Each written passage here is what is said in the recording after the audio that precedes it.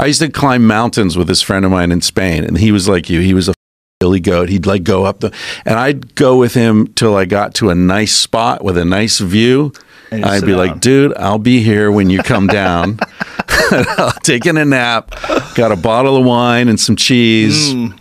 I appreciate that too.